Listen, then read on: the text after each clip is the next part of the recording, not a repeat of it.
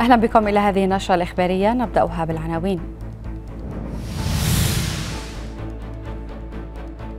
بعد أشهر من الهدوء ضحايا مدنيون بتجدد القصف المدفعي والصاروخي على بلدات جنوب إدلب.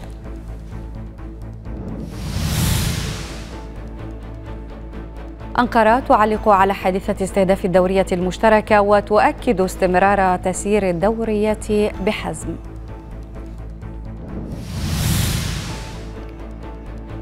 الكويت تضبط شبكة لغسيل الأموال تمول ميليشيا حزب الله اللبناني. الأقمار الصناعية تلتقط صورا مثيرة للشكوك بشأن ملء أثيوبيا لسد النهضة.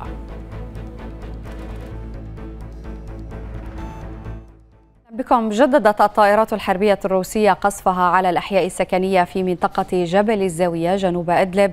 بعد ساعات من تعرض دورية تركية روسية على طريق ام 4 لهجوم بواسطة سيارة مفخخة. وأكدت مصادر محلية أن الغارات استهدفت بلدة سفوهن تزامنا مع استهداف مناطق متفرقة بجبل الزاوية بواسطة الصواريخ والقذائف المدفعية. ما أسفر عن مقتل شخصين وإصابة آخرين. في حين بدأ عدد من أهالي المنطقة بالنزوح مجددا إلى مخيمات الشمال السوري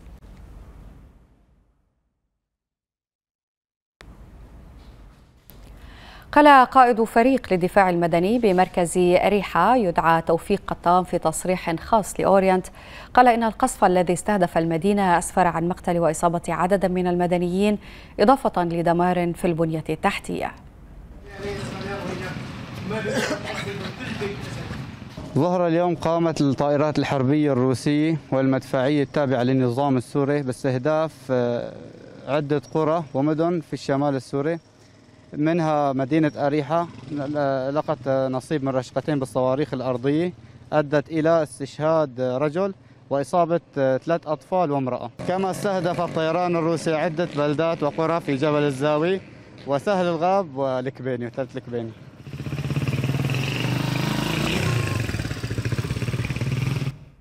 أعلن مخبر الترصد الوبائي في الشمال السوري عن تسجيل ثلاث إصابات جديدة بفيروس كورونا وذكر المخبر أن عدد التحاليل يوم الثلاثاء بلغ 63 وقد تم تسجيل ثلاث إصابات ما رفع عدد المصابين الإجمالي إلى ثمانية. وبحسب التقرير الذي نشره المخبر فإن ثلاثة من المصابين متواجدون في مدينة عزاز شمال حلب وثلاثة في مدينة الدانا واثنين في مدينة سرمدة.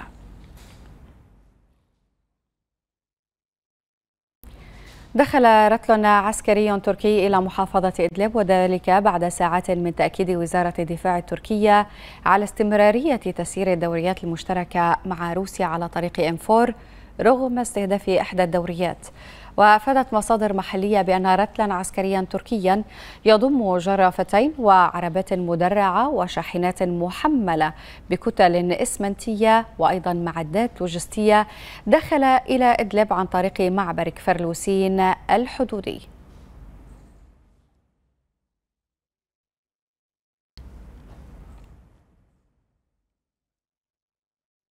ومن إدلب ينضم إلينا مراسل أوريان جميل الحسن لإطلاعنا على آخر التطورات في إدلب. جميل بداية أهلا بك. دعنا نبدأ من التحاليل المخبرية التي وثقت وجود حالات إصابة بفيروس كورونا في الشمال السوري. ما هي التفاصيل لديك؟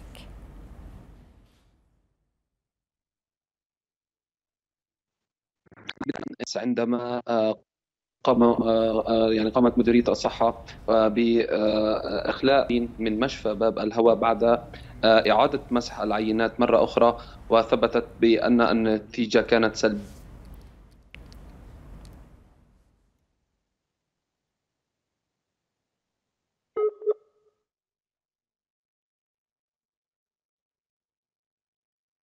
على ما يبدو أننا فقدنا الاتصال بالزميل جميل الحسن. سنعود إليه خلال هذه النشرة وأيضا في سياق هذه النشرة الإخبارية علقت وزارة الدفاع التركية على تعرض الدوريات المشتركة مع القوات الروسية لهجوم قرب مدينة أريحة جنوب إدلب.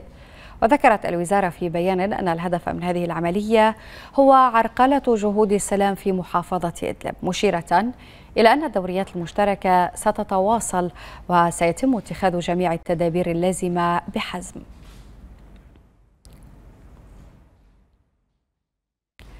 نشرت وكالة روسية شريطا مصورا يظهر لحظة انفجار سيارة مفخخة في دورية مشتركة تركية روسية على طريق إنفور في إدلب. ويظهر التسجيل أن السيارة المفخخة التي انفجرت كانت تقاد من قبل أحد الأشخاص ولم تكن مركونة على حافة الطريق.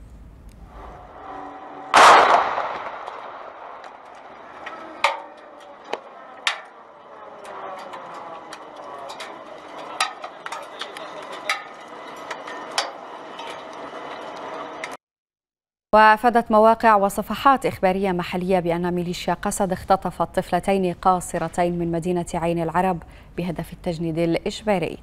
وذكرت المصادر أن الميليشيا اختطفت كلا من الطفلة غزل محمد مصطفى عيسو 15 عاما وأحلام مسلم حسين 16 عاما من أبناء قرية سفتك التابعة لعين العرب.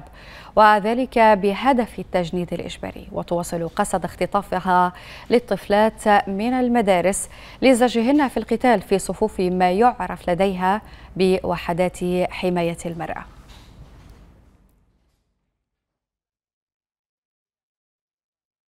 وبالعودة إلى آخر التطورات في إدلب ينضم إلينا مجددا الزميل جميل الحسن مراسل أورينت نيوز في إدلب. أبدأ معك جميل من آخر التطورات بما يتعلق بنتائج التحاليل المخبرية لمصابين بفيروس كورونا في الشمال السوري. نعم احلام في الحقيقة دعينا نبدأ من يوم أمس عندما تم إخلاء الأطباء المصابين بفيروس كورونا بعد إجراء عمليات مسح أخرى للعينات بعد أخذ عينات من الأطباء ومن الكوادر الطبية التي آه، تم الإعلان عن اصابتها بفيروس كورونا وهي أربعة حالات.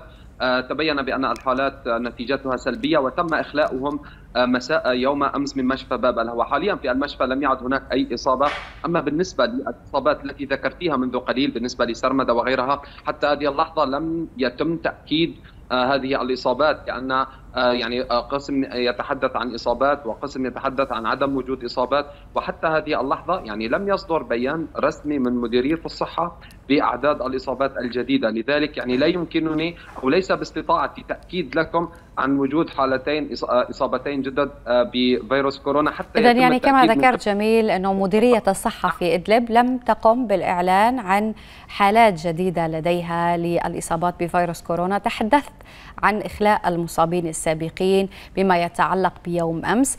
إلى أين تم الإخلاء وما هي هل تم الإعلان عن خطط علاجية لهم؟ آه، بالنسبة للإخلاء تم آه، إخلاء المصابين آه، بكون أن الإصابات أو العينات بعد عملية الفحص صدرت بأنها سلبية فتم إخلاؤهم باتجاه منازلهم يعني لم نعم. يعد هناك أي حاجة أو أي خطر من قبلهم على المدنيين لكي يتابعوا عملهم لكي يمارسوا حياتهم اليومية بشكل طبيعي. أما بالنسبة لهالحالات أريد التنويه إلى نقطة مهمة. ما هو سبب عدم إعلان حتى اللحظة؟ مديرية الصحه لوجود إصابتين جدد هي إعادة عمليات المسح أو إعادة عمليات أخذ العينات من أجل التأكيد بشكل آه، يعني آه، صحيح على إذا كانت النتيجة هي سلبية أم إيجابية. لأن هناك بعض الأحيان يكون نتيجة تحليل خاطئة يتم إعادة نتيجة التحليل فيكون هناك آه، يعني نتائج مختلفة مختلفة. نعم صحيح نعم. طيب جميل يعني اليوم أيضا في إدلب ولكن على سياق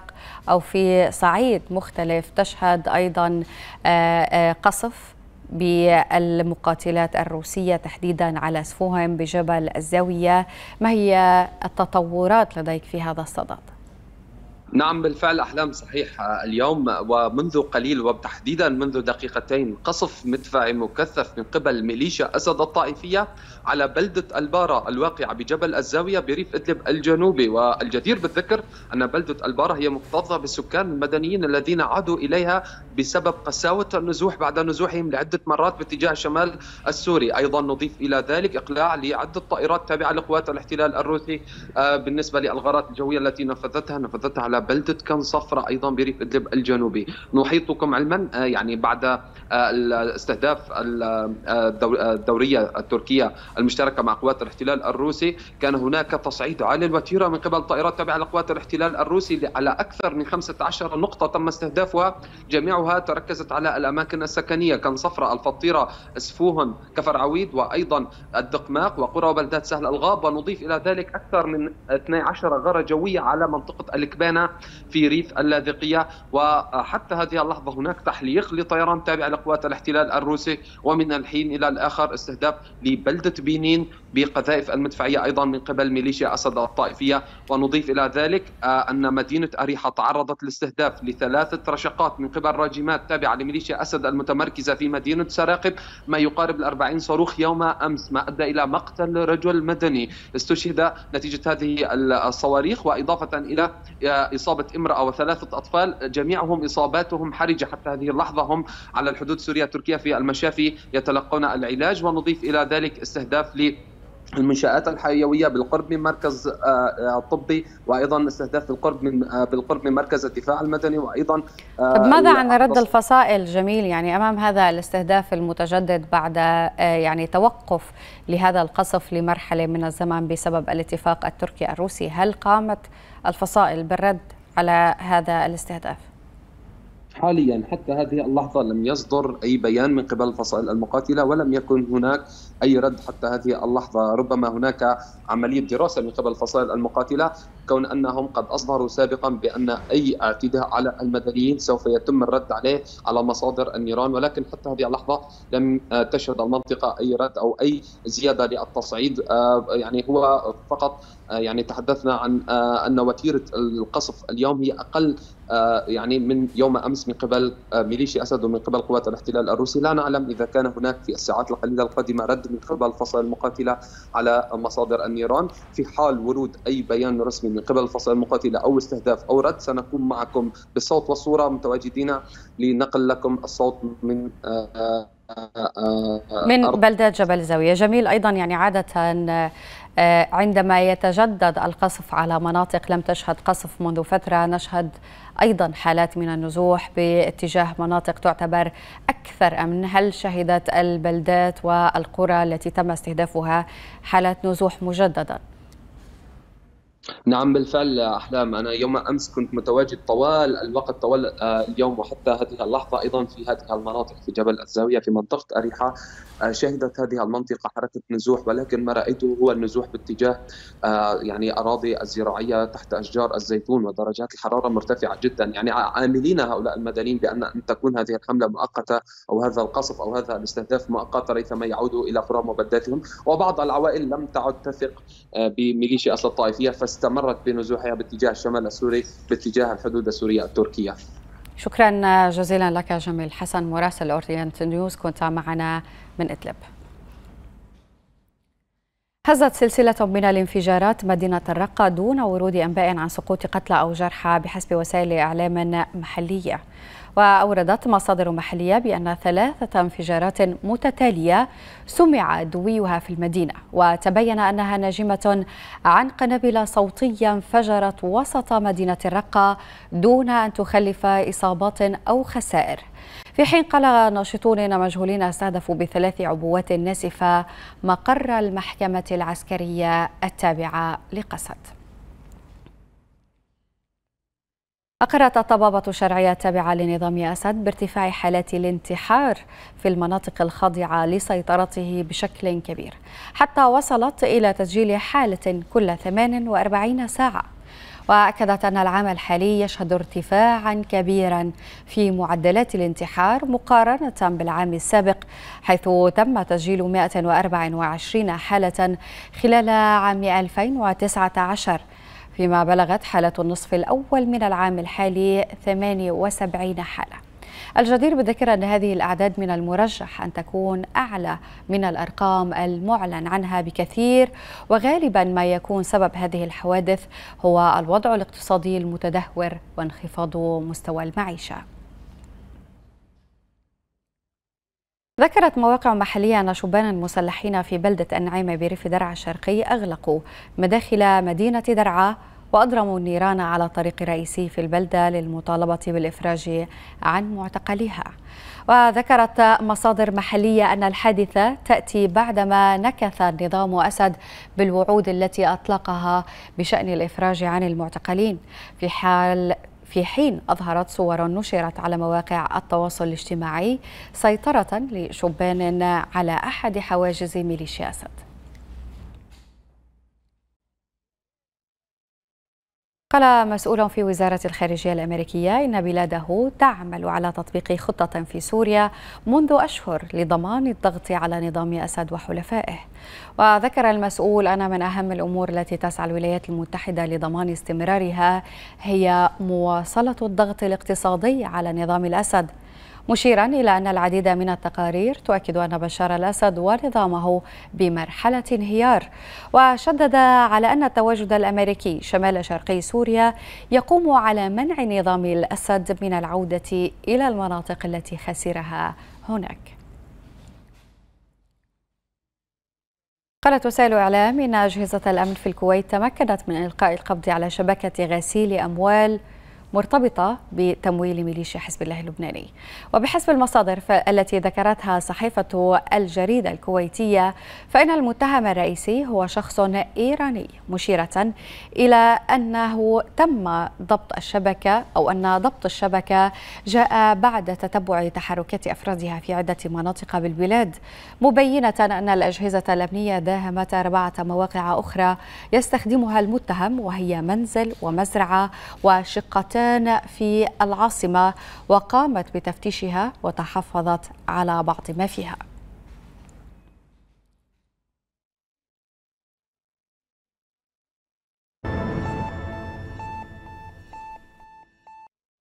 قال الكاتب والمفكر السوري محي الدين اللذقاني أنه بعد وفاة حافظ الأسد أصبحت سوريا تحت حكم عائلتين عائلة مخلوف وبيت الأسد. ومؤسسات الدولة التي قام عليها النظام كلها تنهار وينهار معها الذراع الأمني الذي حافظ على بقائها. بعد وفاة حافظ الأسد أصبحت سوريا تحت حكم عائلتين تحت حكم عائلة مخلوف وعائلة الأسد. وكان لمحمد مخلوف عن طريق تأثيره على ابن أخته وعلى أخته. م. أنيسة طبعا كان لها الكلمة, الكلمة الأولى. من م. هذا التأثير صار حاكما مشاركا. المؤسسات التي قام عليها النظام كلها تنهار. تنهار الحاضنة الشعبية انهيار الحاضنة الشعبية وانقسامها يؤثر أيضا على الانهيار الاقتصادي الداخلي الذين يحاولون لملمته. وروسيا تدخلت أكثر من مرة. وتوسطت وكان آخر حل توصلوا إليه أن يتم خروج رامي إلى موسكو على أن تباع ممتلكاته في الخارج وتعاد إلى الخزينة السورية. وطبعا لن يعاد إلى الخزينة السورية منها شيء. ستلحق بأموال النفط السوري إلى حسابات الأسد ماهر وبشار وحاليا أسماء الأسد وابن خالتها الدباغ. وينهار بالنهاية الزراع الأمني والعسكري الذي حافظ عليها نحن بعون الله في نهايات هذه المرحلة ونهايات حكم وأكد الكاتب الصحفي زياد الريس أن الضباط الذين يتم اعتقالهم أو إقصاؤهم هم أذرع عائلة مخلوف وهؤلاء الأشخاص كتلة من الولاء العسكري لهذه العائلة. الضباط الذين يتم اعتقالهم أو يتم إقصاؤهم أو يتم اتهامهم بالفساد والرشاوي والعمالة والتخابر هم ليسوا فقط أذرع رامي بشكل شخصي هم أذرع عائلة مخلوق. يعني هذه هؤلاء الضباط هم كانوا كتلة ضباط مرتبطين. كيف يكون الارتباط؟ طبعا بعضهم كان في الجيش السوري وتم انتدابه إلى الأفرع الأمنية بتزكية من محمد أو بتوجيهات من محمد مخلوف أو من رامي أو من إيهاب أو من حافظ. هؤلاء الأشخاص هم نستطيع أن نقول أنهم كتلة الولاء الأمني والعسكري لعائلة مخلوف الأبرز لغاية الآن هو معين حسين. معن حسين. يعني هذا الضابط الكبير هذا مرتبط بشكل مباشر برامي مخلوف وهذا كان من من المقربين جدا من من بشار الأسد. تم اتهامه أنه صاحب مؤامرات وأنه شخص متآمر وأنه عميل وأنه يعطي معلومات. هذا الاتهام ليس بجديد على أتباع مخلوف سابقا تم اعتقال ضباط من مطار دمشق الدولي مقربين من رامي مخلوف قيل أنهم هم من أوشوا أو أعطوا الأحداثيات والمعلومات عن قاسم سليماني لإسرائيل. وبالتالي هناك مخطط اذا هذا المخطط يقوده تماما مكتب بشار الأسد ومكتب ماهر الأسد. فكان هناك حالة تخوف كبرى يعني لدى هؤلاء التجار أن يتم ابتزازهم ماليا أو أن يتم محاسبتهم أو معاقبتهم لأنهم كانوا شركاء رامي مكلوف رغم أن رامي كان يسرقهم علنا وكان يقول لهم أن هذه الأموال تذهب إلى مكتب وقال العميد السابق في شعبة الأمن السياسي منير الحريري أن رامي مخلوف يعتبر رافعة للنظام وكل الاعتقالات والتصفيات تتم لأشخاص محسوبين على رامي أو ماهر الأسد. فالنظام بدأ يأكل نفسه. أن رامي مخلوف يعتبر رافعة للنظام هو وتجار الشوام وتجار الحلبية اللي شالوا النظام. شالته خاصة عن طريق جمعية البستاني اللي كانت تضم أكثر من 40 ألف هال 40 ألف هذول هم عسكرة. والروس يوم حلوها كانوا حلوها بناء على أنه هؤلاء عسكرة. هم جيش ضمن الجيش. كل الاعتقالات وكل التصفيات اللي عم تصير. والأخير هاي اللي العميد شريف إسماعيل هو وأولاده النقيب علي والملازم رفعت اللي أخذوهم من يعفور. هؤلاء من جماعته. وهؤلاء مو بس هم طبعا إحنا مر معنا تصفيات مثل العميد معن إدريس، العميد هيثم عثمان، م. العميد سومر ديب، علي جنبلاط، جهاد زعل، العميد ثائر خير بيك والعقيد علاء سيمان كلهم محسوبين بالحسابات الرسمية على رامي أو على ماهر، طبعا هذه المعلومات وهذه الأشياء هي بتدل على إنه النظام هو قاعد ياكل بعضه. وهم واصين بين بعضهم لشيء إنه ما عاد في ثقة بين بعضهم. هذه الرافعة انخفضت وأسماء الأسد لعبت دور هدام كبير بين الاثنين ولعبت على وتر آخر وتر اقتصادي لزحزحت كل الأموال وكل الحركة الاقتصادية التي يملكها رامي مخلوف لوضعها في يدها أو في ودي. من هم؟ تقدر تستطيع هم أن تدير كشفت الإدارة الداخلية لولاية برلين في ألمانيا عن نيتها استقبال 142 لاجئا من المخيمات اليونانية على أن تصل الدفعة الأولى إلى ألمانيا في الرابع والعشرين من تموز الحالي. وأوضحت الإدارة أنه من المتوقع أن تصل آخر دفعة من المهاجرين المقرر استقبالهم نهاية شهر آب المقبل ليرتفع عدد المهاجرين الذين استقبلتهم ألمانيا من المخيمات اليونانية إلى 928 مهاجرا معظمهم من القصر. كما أبدى مجلس ولاية برلين استعداده لاستقبال نحو 300 مهاجر من المخيمات حيث ستكون الأولوية للأسر والأطفال الأكثر تضرراً.